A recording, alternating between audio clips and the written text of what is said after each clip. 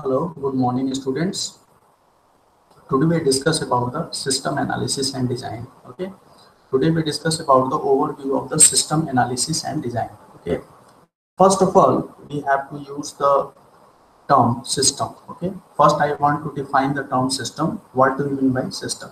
Basically, the word system is derived from the Greek word systema. Okay, which means on which means an organized relationship between any set of components to achieve some common goal. Okay.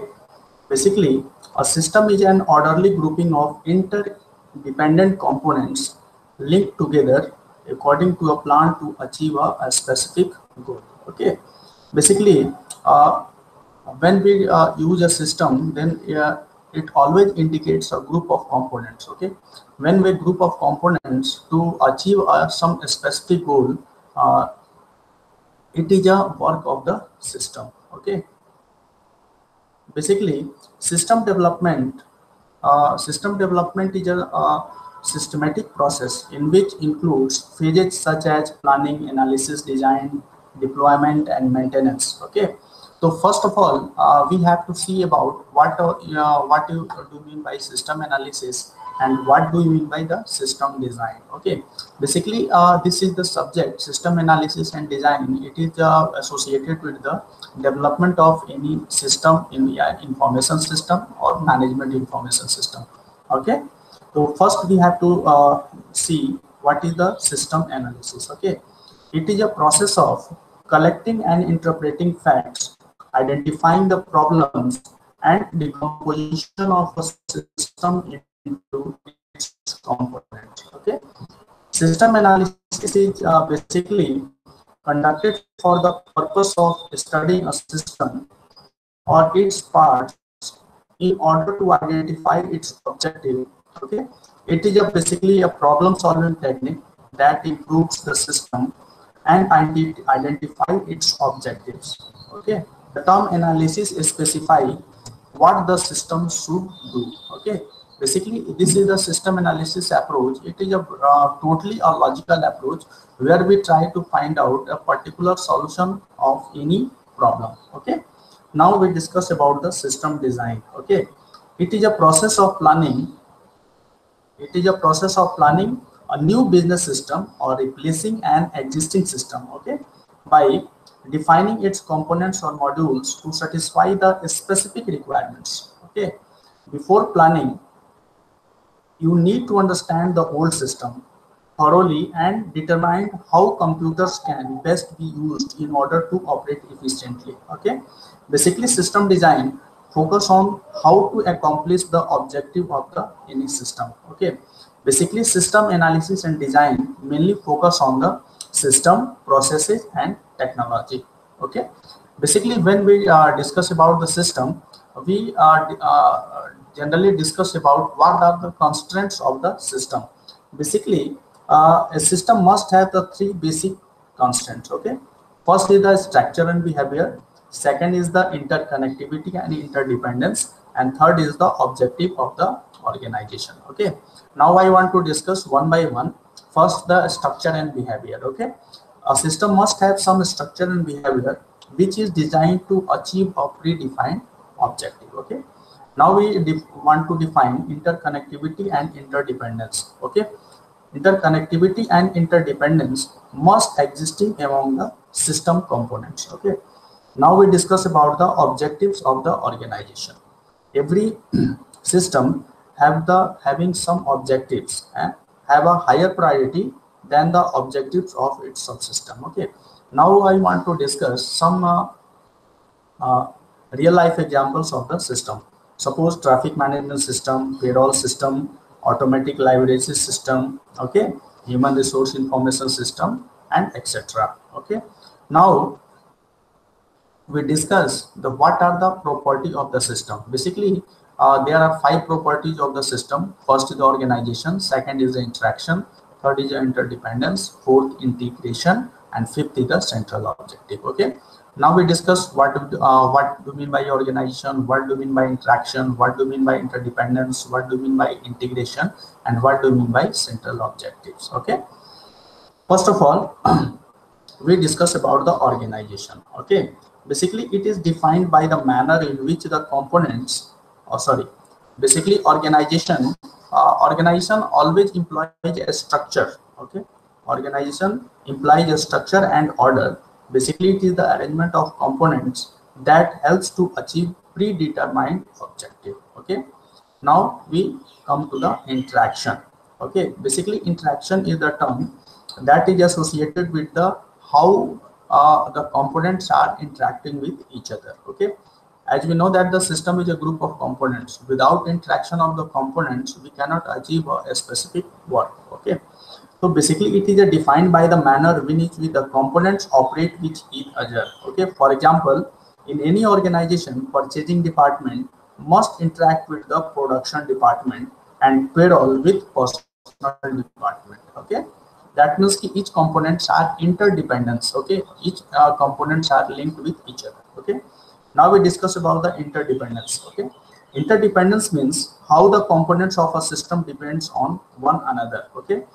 For proper functioning the components are coordinated well and linked together according to a, a specific a specific plan a specified plan okay?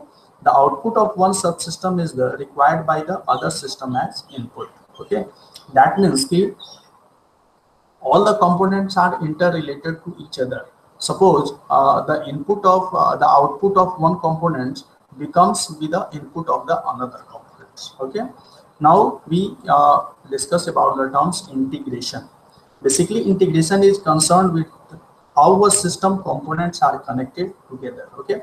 It means that the parts of the system work together within the system even if each part performs a unique function okay now we discuss about the central objective okay the central objective of any system must be prime that means it will be must focused okay? Because system always meets a, a specific objective. It may be real or it may be stated okay? It is not uncommon for an organization to state an objective and operate to achieve another okay? The users the users must know about the main objective of computer application early in the analysis analysis for a successful design and conversion okay? Now we discuss about the different elements of the system. Here uh, i draw a picture. Um, basically the elements of system is input processor output. It is the common part of any system okay? The, um, basically we have to see about the what is the meaning of the control what is the meaning of the feedback and what is the role of boundaries and interface in the system okay? First of all we discuss about the inputs and outputs basically okay? The main aim of main ambition of any system is to produce an output which is useful for the user okay?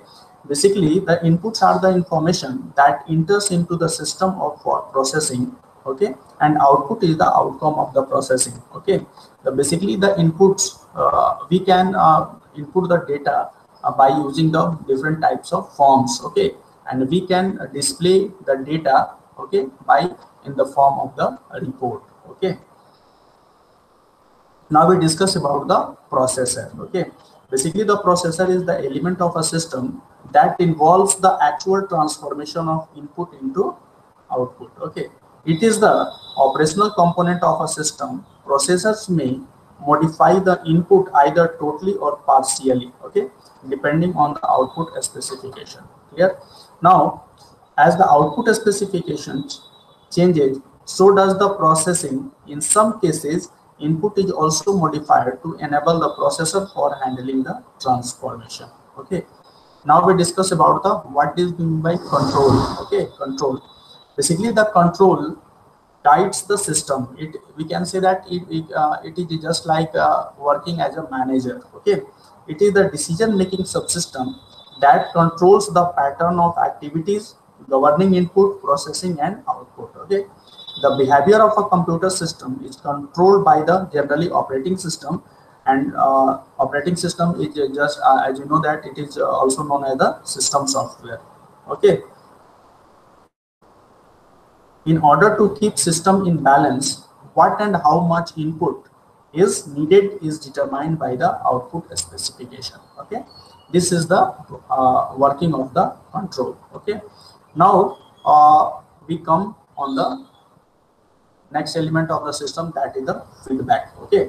Basically feedback provides the control of a dynamic system. Positive feedback uh, basically feedback may be positive or negative okay? Positive feedback is routine in nature that encourage that performance of the system okay? But negative feedback is also important for us. Why? Because negative feedback is informational in nature that provides the controller with information for action okay? Now the most important part of the elements of the system is also an environment because every system having an environment okay? So basically we discuss what do you mean by the environment in the uh, case of the system okay? Basically environment is the super system okay? The super system within which an organization operates okay? Basically it is the source of external element that strike on the system. It determines how a system must function. For examples vendors and competitors of organization environment may provide constraints that affect the actual uh, performance of the business okay? Now we discuss about the boundaries and interface. This is the very important part of the system that is the boundaries and interface okay? Uh, basically uh, first we discuss about the boundary. What do you mean uh, what do you mean by boundaries of uh, the system okay? Basically a system should be defined by its boundaries basically boundaries are the limits that identify its components processes and interrelationship when it interfaces with the another system okay? Basically each system has boundaries that determine its sphere of influence and control okay?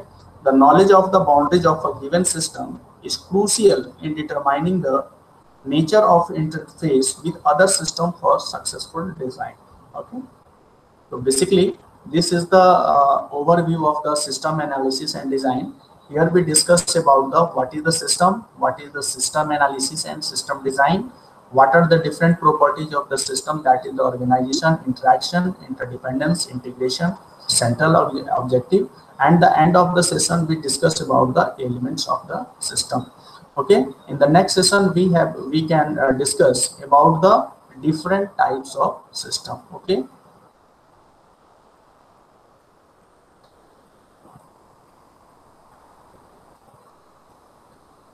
thank you